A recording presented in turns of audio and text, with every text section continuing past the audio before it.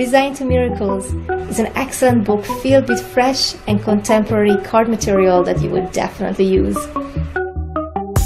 Hi, Jack Carpenter here to tell you why you want to get a hold of Peter Gröning's uh, new book, Resigned to Miracles.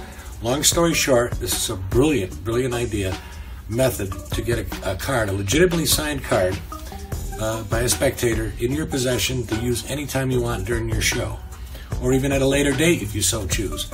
It's brilliant. It's uh, basically impromptu, in my opinion.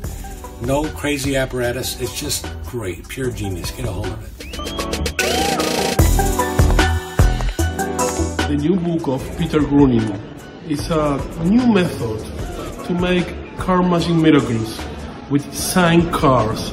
I don't want to tell more, but you have to get this book. It's a really, really new, uh, incredible book of Smartic Hermetic Press.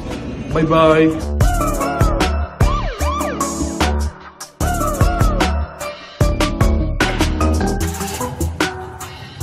This book is perfect for the sleight of hand artist who is interested learning field tested miracle routines with a deck of cards.